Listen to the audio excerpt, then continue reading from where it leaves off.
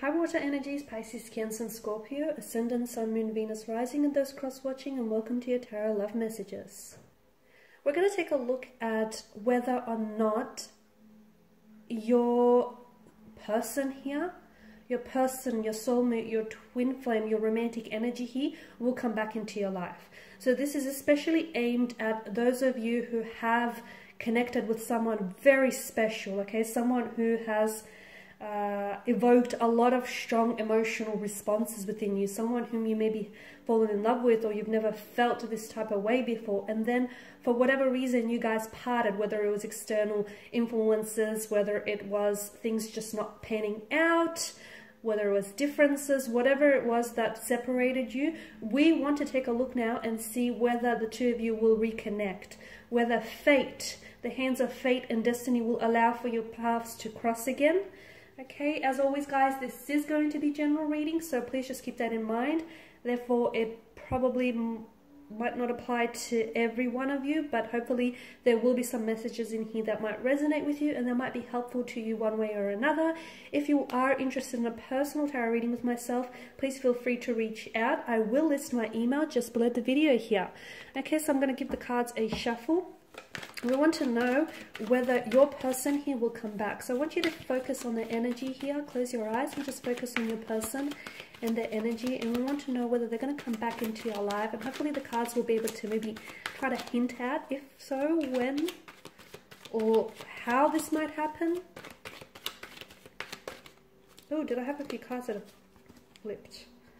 Okay, so you have the Three of Pentacles.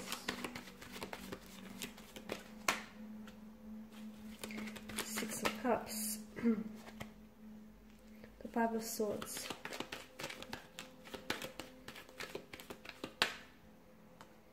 Five of Cups, Temperance,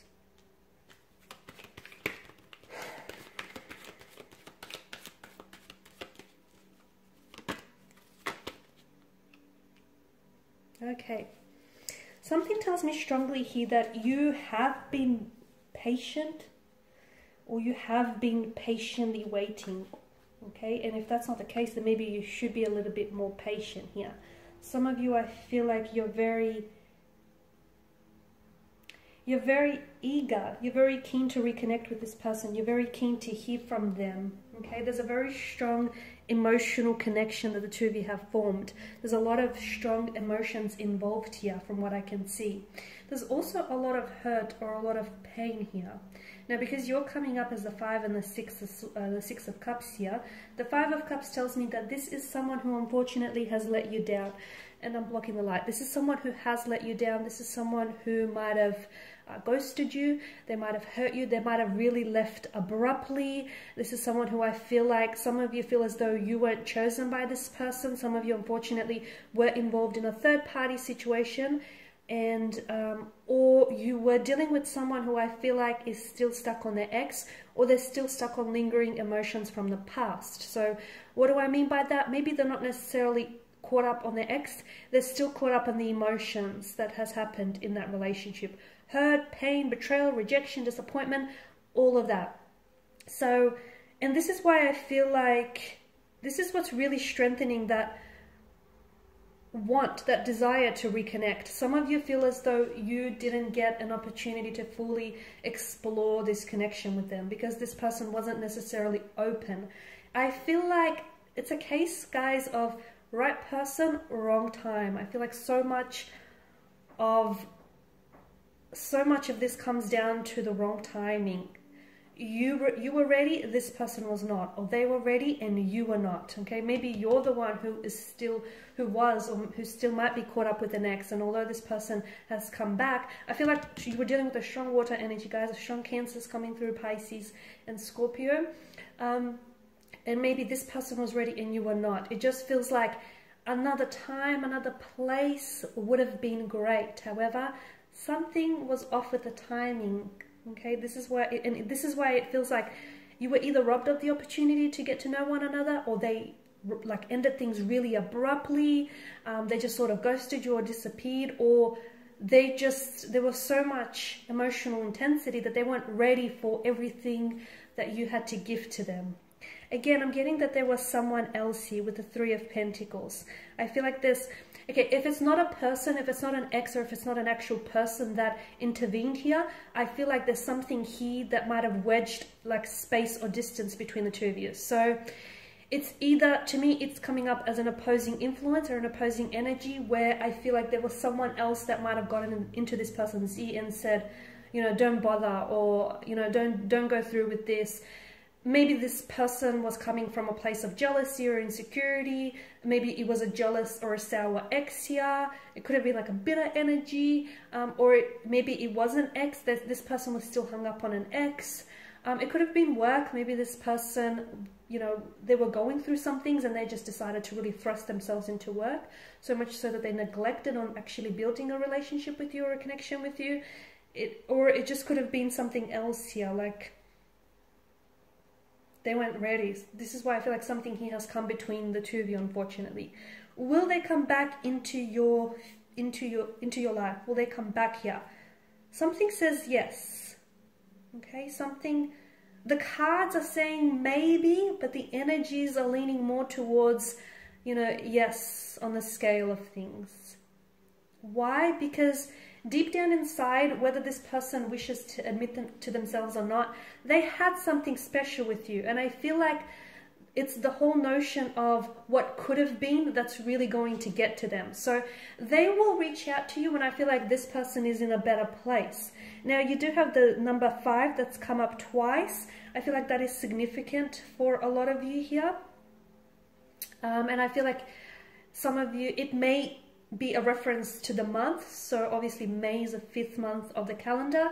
You might reconnect with this person in May here, in the month of May. It might be five weeks, five days from five months from now, from the time that you hear this reading, whenever that is for you.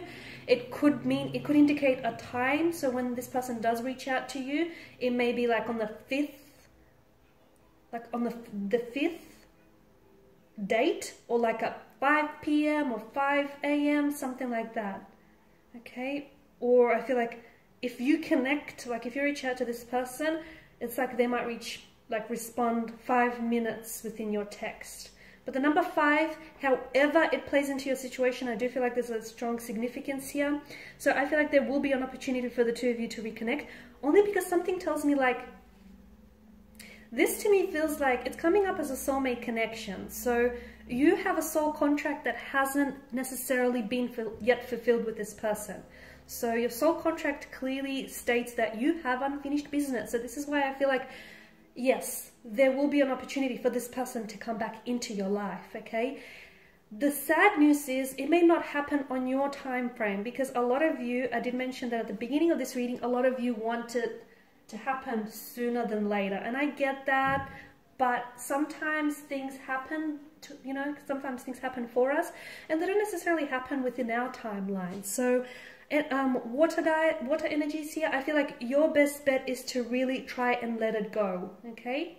You are a water sign and water is fluid here. So, and you know, when you think about the whole notion of water, okay, whatever vessel you pour the substance of water into, it essentially will take shape and will take hold of that vessel. So just let things go, okay? You guys are very, very adaptable. You know that. You don't need me to tell you that.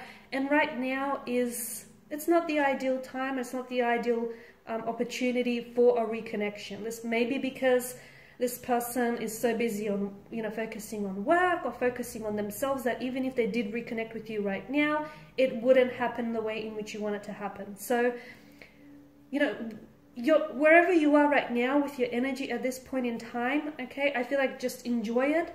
It's not ideal, I get that, but you're not gonna be you're not gonna be here forever. You're going to be moving on to the next stage or the next phase of your life very soon. So enjoy the moment for what it is even if it's not ideal, guys, okay? So what I'm trying to say is just let it flow, okay? Let things happen to you. I feel like when you try and neutralize your situation, okay, it really helps because I feel like you put yourself in a very powerful position when you're okay with something happening and okay with something not happening. I'm not saying that this is not happening, so don't, you know, misconstrue that there, but I feel like it's just not happening right now. And Temperance tells me that there's a need for you to be patient. Okay, put it out to the universe. Trust that there is going to be a reconnection because your person is coming up as a soulmate or your person is coming up as this energy where they feel like they need to reconnect with you because they need to it's like a missed opportunity or it's like you know unfinished business the five of swords tells me that there was some opposing influences which is why it didn't work out between the two of you in the first place. The five of cups i mean i did men you know i did go into detail with the five of cups here. You need to let go here guys because some of you are still fixated on why it didn't work okay? There's a i could give you a string a multitude of reasons why it didn't work out in the first place okay? But if you keep going over that why if you keep fixating on why it didn't work or why it didn't happen you will live in the past. You will continue to live in the past.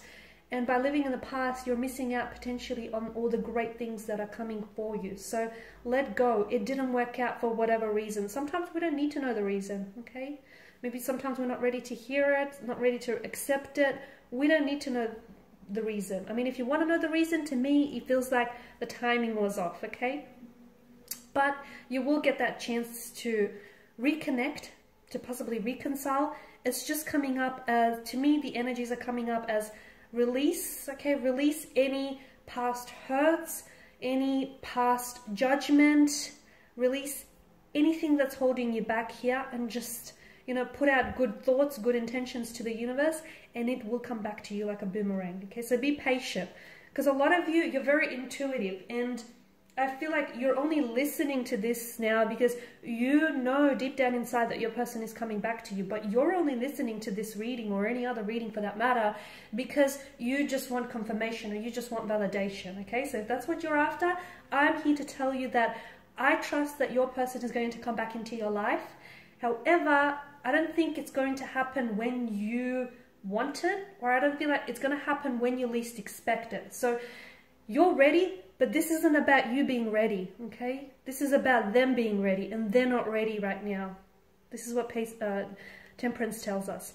The Nine of Wands, I feel like your person is, someone is coming up as very closed off or very guarded or even very hurt. And I feel like that person needs to be able, whatever this energy is, that person needs to be able to work on those things and they need to release that past hurt or release that past wound because essentially that's acting as a barrier from them coming back and entering your life. Okay guys, and these are your messages. Thank you as always for watching and listening. Please show your support by subscribing to this channel. I will be sharing with you more tarot love messages. For those of you that are after personal reading, whether you want me to follow on from these messages or any other for that matter, feel free to connect. Otherwise guys, bye for now.